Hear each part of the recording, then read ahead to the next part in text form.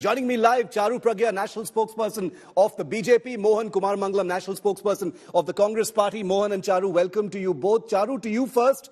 Uh, you know, the Trinamool MP's comment I'll come to in just a bit because I've got a lot to say about that. Uh, but let's focus on what the Congress Party has said about uh, the Tejas flight because it's more substantive. It's not a shameless comment like what the Trinamool was making. We, in fact, had invited the Trinamool to be part of this debate. They have declined for whatever reasons.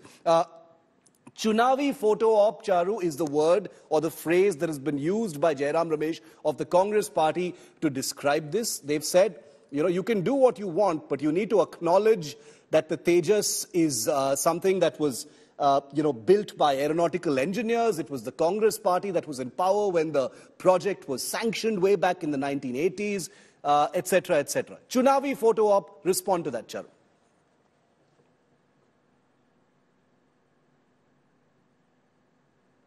You're on mute. Uh, uh, you're on mute, uh, Charu.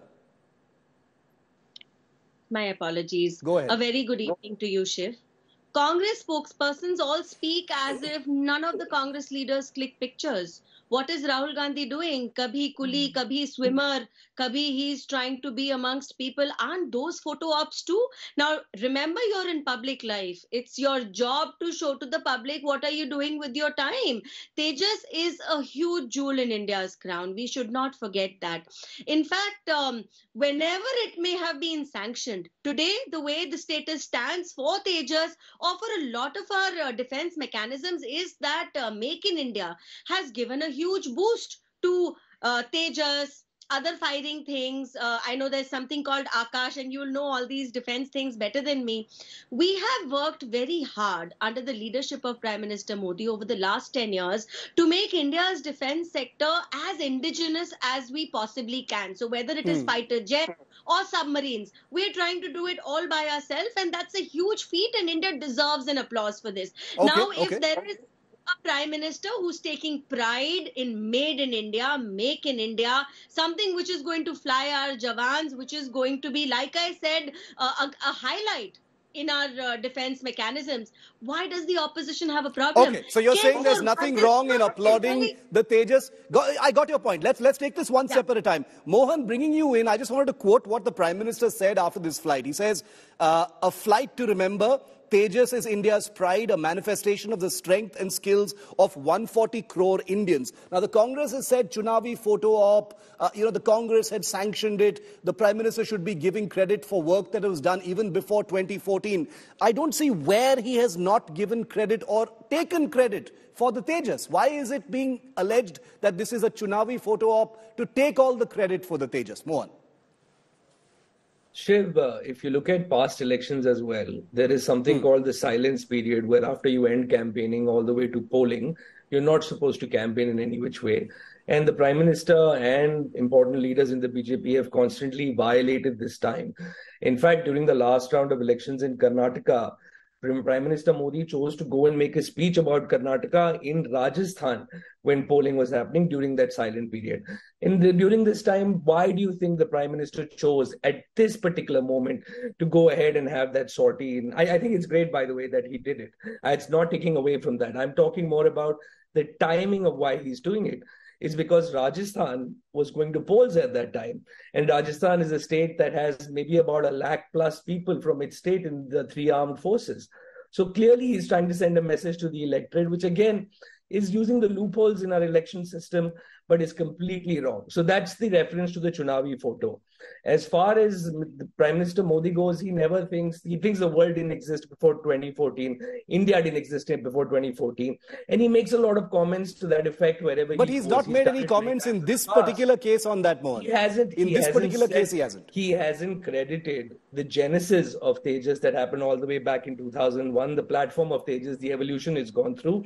He hasn't said that. He hasn't said all the hard work that's put in by the ADA, the DRDO, the HAL, the NAL there may be five or six agencies that work together on this platform. Mm. And I am not going to take away from any of the work that's going on right now in the defense sector to indigenize either. I'll give him credit for that. What I'm all hoping for is the Prime Minister at some point in time chooses to look back and acknowledge the fact that we're standing on the shoulders of giants, especially in scientific progress we make in this country. Hmm. Okay.